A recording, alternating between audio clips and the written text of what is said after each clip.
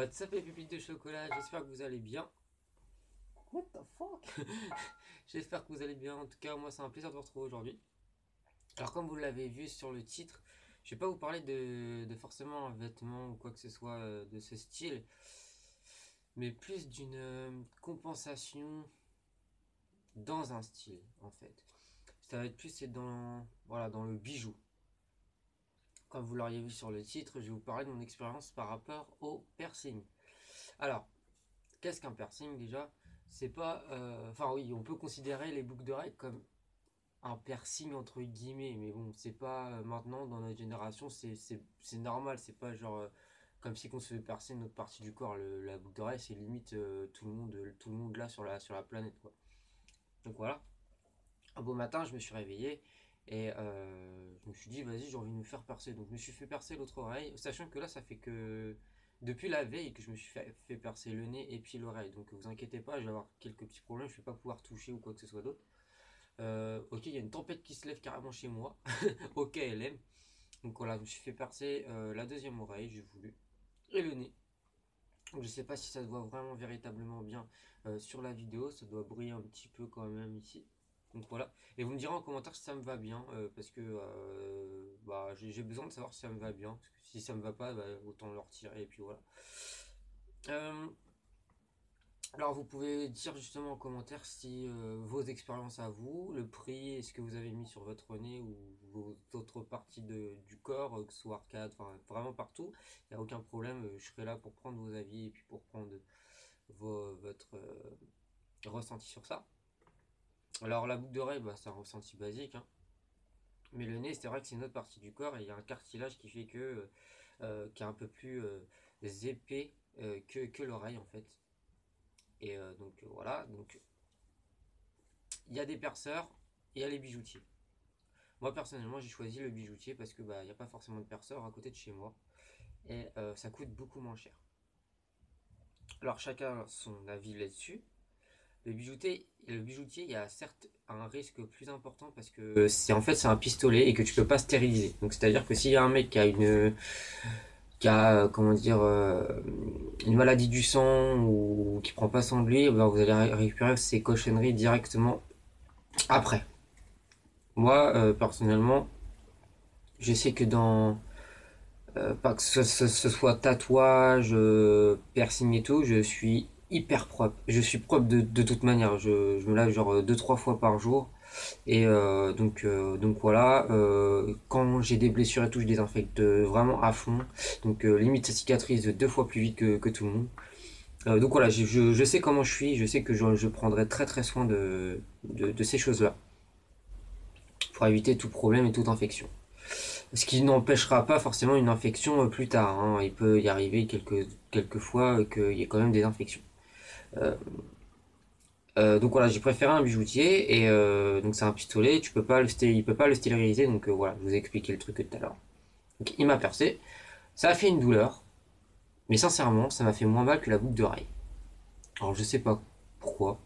Le plus souvent, les personnes pleurent du, du côté où ils se sont fait percer. Moi, j'ai pas eu de, j'ai rien eu, ça m'a picoté un petit peu, c'est vrai c'est après que la douleur commence à venir. Entre guillemets, hein, c'est une douleur très très supportable, etc. C'est vraiment très supportable et ça va vous durer 2-3 jours. Moi je sais que là j'ai encore un petit peu mal et tout, mais c'est vrai que là bah, j'ai changé de personne en fait. Parce que je vais vous montrer. En fait, chez les bijoutiers, je vous expliquerai après chez les perceurs comment ça se passe. Chez les bijoutiers, en fait, ils vous mettent carrément euh, une prothèse boucle d'oreiller.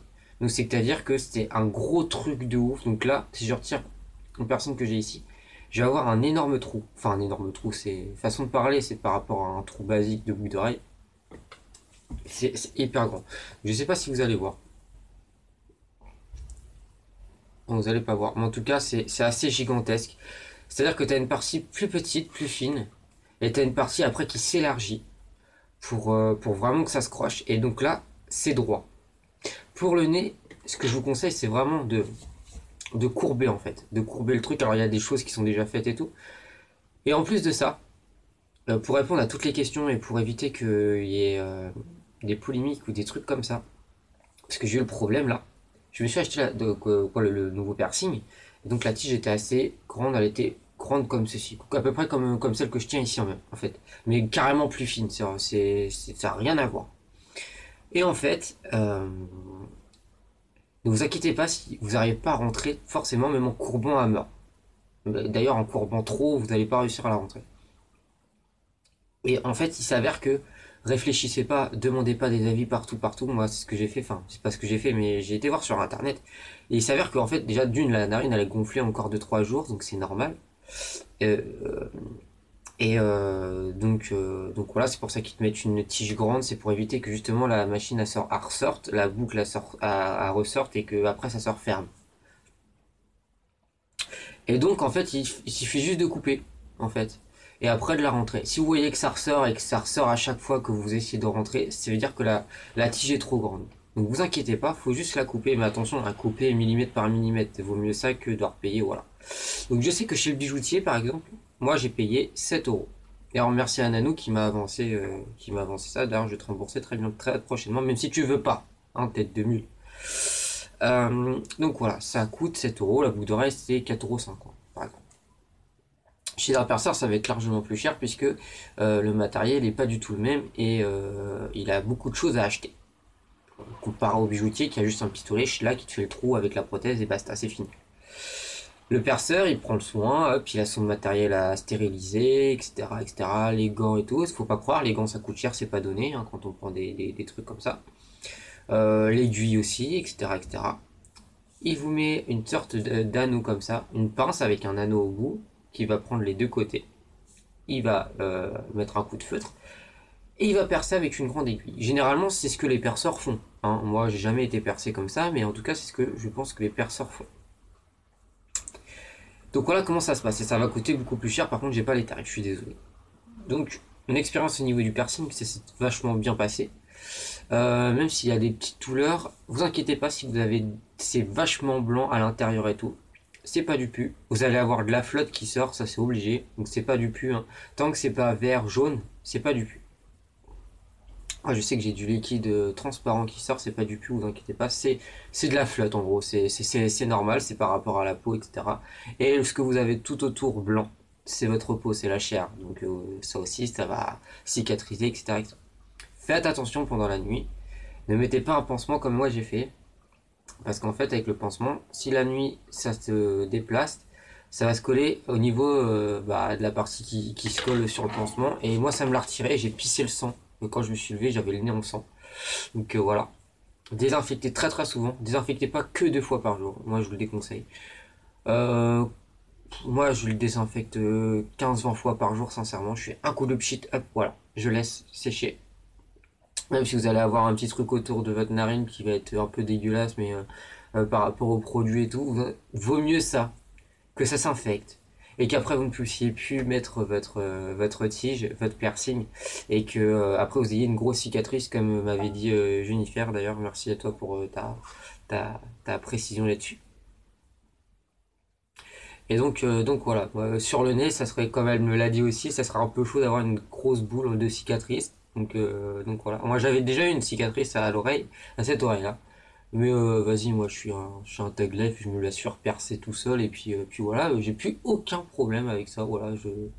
Nickel. Donc voilà, dites-moi en commentaire si ça vous plaît. Moi en tout cas, je suis assez content du résultat, c'est très très léger, ma, mon nouveau piercing. Je vais aussi mettre euh, des, anneaux, je pense. Et, donc voilà, c'était ma petite expérience sur, sur le piercing et je, je sais pas, je voulais faire partager ça. Je pense que j'ai donné assez pas mal de détails qui pourraient être intéressants pour ceux qui euh, ne savent pas comment ça se passe le piercing. C'est impressionnant.